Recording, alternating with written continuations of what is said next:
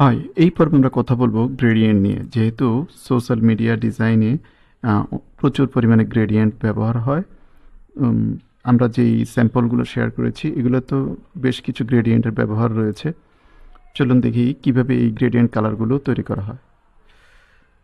প্রথমে আমরা যাব ক্যানভাতে আমরা যদি একটা ছবি এখান থেকে নিয়ে আসি, এটাকে।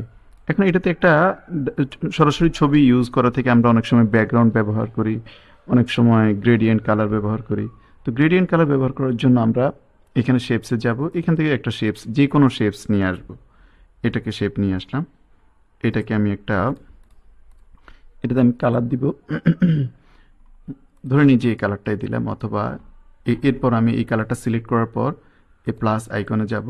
তো এখানে আমি যেমনটা আমরা অন্য টিউটোরিয়াল দেখেছি এই কালারটাকে আমরা চেঞ্জ করতে পারব। ফর এক্সাম্পল এটাকে আমি যদি নেভি ব্লু কালার করতে চাই উপরটা নেভি ব্লু নিচেরটাকেও আমি একটু সামার ডিফারেন্ট কালারের নেভি ব্লু দিতে পারি।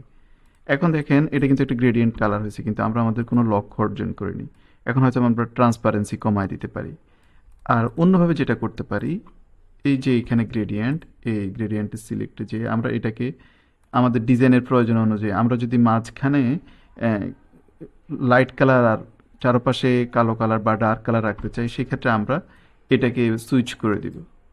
দেখেন সুইচ করে দিলে মাঝখানে লাইট কালার আর পাশে হচ্ছে ডার্ক কালার এখন আমরা যদি লাইট কালারটাকে আরও বেশি ট্রান্সপারেন্ট করতে চাই, এখানে অপাসিটি কমায় দিতে পারি, একেবারে কমায় দিতে পারি।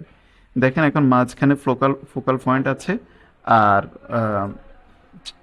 যে পাশটাতে সেখানে হচ্ছে আমাদের ডার্ক কালার রয়েছে। এখন দেখেন এখানে যদি আপনি আরও কালার অ্যাড করতে চান, এই অ্যাডজাস্টে যাবেন, যে এখানে আপনি এটার পাশে আরেকটা কালার অ্যাড করবেন। হ্যাঁ এইটাতে আপনি হয়তো একটু ব্রাইট ব্লু কালার দিতে পারেন। আচ্ছা আমাকে কালার পজিশনটা চেঞ্জ করতে হবে।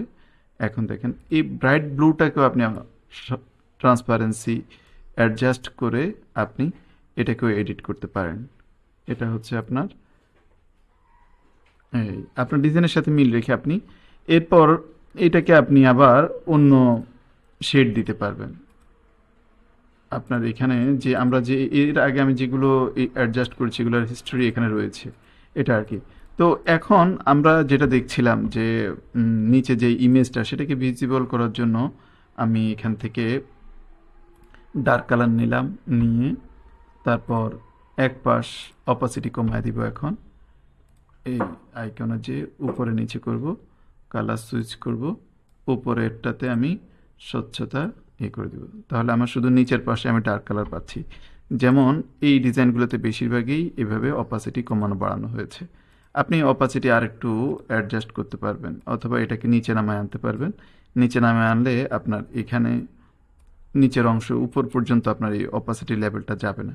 আর আপনি যদি উপরে নেন, যত বেশি নেন, তত বেশি যেতে থাকবে। এভাবে এখন, এই, এটা হচ্ছে গ্রেডিয়েন্টের একটা পার্ট তো এইভাবে গ্রেডিয়েন্টকে আপনি এখানে ইচ্ছে মতো কিন্তু অ্যাডজাস্ট করে নিতে পারবেন। যত বেশি ইচ্ছা আপনি ডিজাইনার যদি হন, তাহলে আপনি এখানে যত বেশি ইচ্ছা কালার অ্যাড করবেন, স্বচ্ছতা ইয়ে করবেন। এরপরে নট নেসেসারিলি যে আপনি স্কোয়ার শেপের মধ্যে আপনি কিন্তু এখান থেকে যে শেপগুলো সবগুলো শেপ নিয়েই সেম জিনিসটা অ্যাপ্লাই করতে পারেন গ্রেডিয়েন্ট কালার বা এই ইলিপস শেপের মধ্যেও আপনি গ্রেডিয়েন্ট কালার অ্যাপ্লাই করতে পারবেন। সব ডিজাইনের সব এলিমেন্টে কিন্তু অ্যাপ্লাই করা যায় না। ওদের যে শেপ আছে শেপগুলোর মধ্যে আপনি অ্যাপ্লাই করতে পারবেন। ভ্যাক্টর শেপে করা যায় কিনা আমি দেখি। শেপ ভ্যাক্টর শেপে সম্ভবত এটা করা যাবে না। এটা শুধুমাত্র নির্দিষ্ট যে শেপগুলো সম্ভবত এটাতেই করা যায়।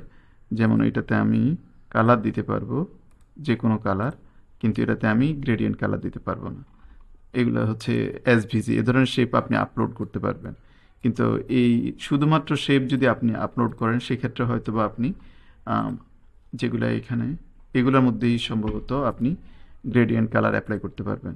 টেক্সটের মধ্যে কিন্তু গ্রেডিয়েন্ট কালার অ্যাপ্লাই করা যায় না। সো আপনি শেপগুলোকে কাজে লাগাতে পারেন। এরপরও যদি আপনার গ্রেডিয়েন্ট শেপ দরকার হয় G R A D I N gradient লিখে সার্চ করেন গ্রেডিয়েন্ট শেপের অভাব নেই। তবে সব ক্ষেত্রে আপনার হয়তো সবগুলা কাজে লাগবে না।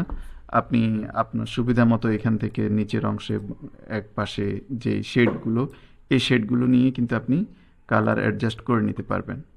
তো এতটুকুই, আর এর পরবর্তী ভিডিওতে আমরা অন্য অন্য টপিক নিয়ে কথা বলব। Thank you so much